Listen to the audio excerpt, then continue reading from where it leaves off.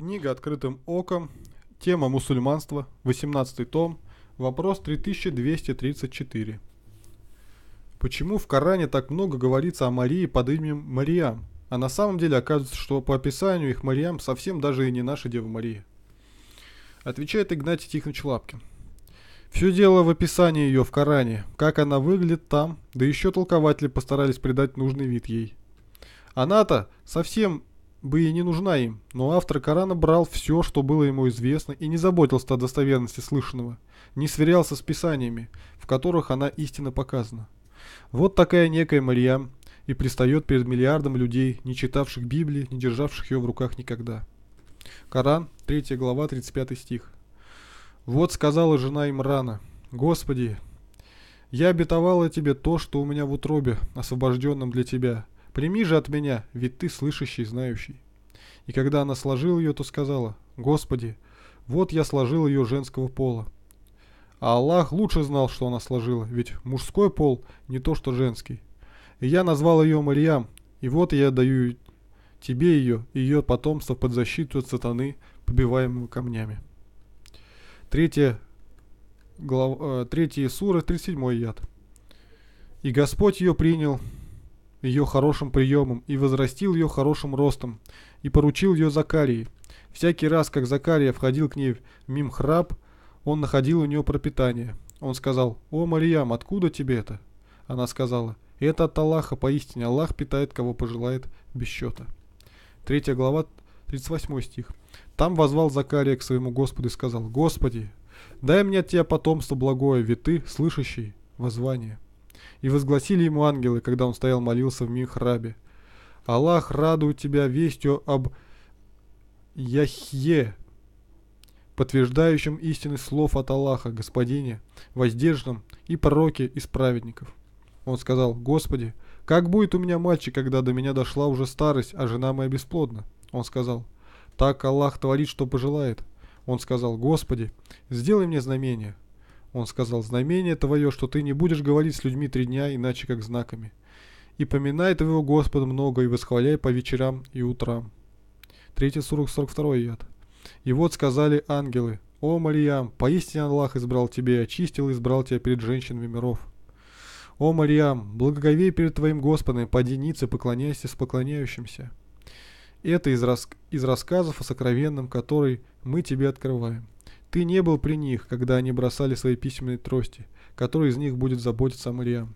И ты не был при них в то время, когда они припирались. Вот сказали ангелы, «О, Мариам, вот Аллах радует тебя вестью о слове от Него, имя которого Мессия Иса, сын Мариам, славного в будущем, в ближнем и в последнем мире из приближенных. И будет говорить он с людьми, в колыбели и взрослым будет из праведников, и будет из праведников». Третья сура, 47 яд. Сказала она, «Господи, откуда будет у меня ребенок, когда меня не касался человек?» Сказал он, «Так Аллах творит, что желает. Когда Он решит какое-нибудь дело, то только скажет ему «будь», и оно бывает. И научит Он его писанию и мудрости, и Торе, и Евангелию, и сделает посланником к сынам Израила.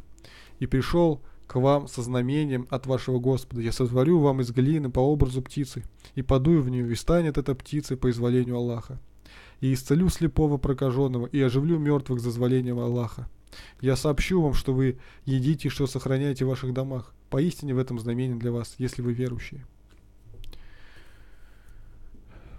Читаем из Библии. Второзаконие 4.2. Не прибавляйте к тому, что я заповедую вам, и не убавляйте от того, что соблюдаете, и не, не, не отбавляйте от того.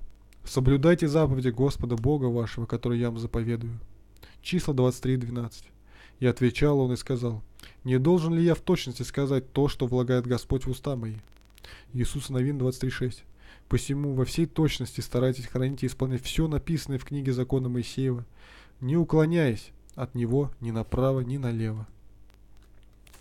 Стихотворение. «Стыд преступлением, прапрадеда нажит, Раньше не стыдились в бывшей наги. С тех пор стыдом придется дорожить. Бесстыдство приравняется к отваге. Стыдобушка, бесстыдник, упрекаем. Того, кто принародно мать срамит. Цинично ухмыляется в оскале, отказываясь старость докормить. Уже с пеленок учат прикрывать. Срамное место так и обозначим. А тут-то, скажем, может быть кровать. Благословляет каждого зачатие. Стыд позабыт, безбожием оголен. Расхристиан... Расхриста... Расхристанный лгунишка депутатик.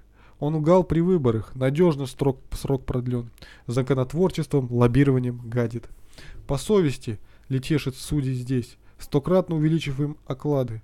Бесчестие черно, и в этом изрык весь. Теперь полмиллиона, таких дают на лапу. Стыд заставляет кумачом краснеть, и веки опустить и стать под стать незрячим.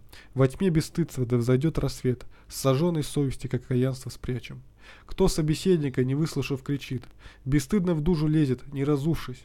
Стыдись, невежда, не ищи причин, над головой твоей все гуще тучи.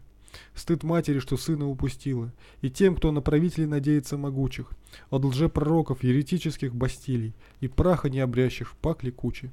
Бесстыдных судей легион в судах, остриженные жены, бритые мужчины, корыстолюбцы на святых местах.